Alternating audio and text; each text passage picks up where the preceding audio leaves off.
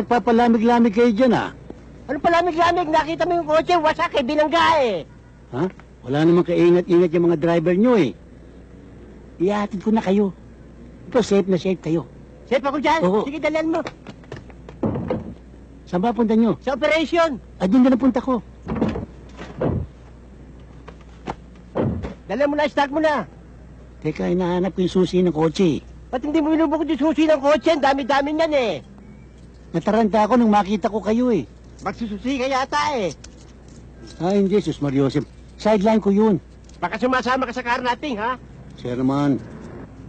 Ito, nakita ko na. Yan ang susi. Pang karne norte yan eh. Master key ho ito. Sige, start mo na. Hindi, medyo sarap pa.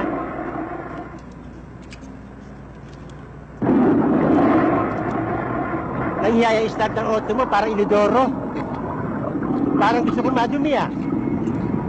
Sir, paano ko? Maiwan ka. Gusto ko pa mabuhay na matagal. Malas ka eh. Dito na ako sa expert.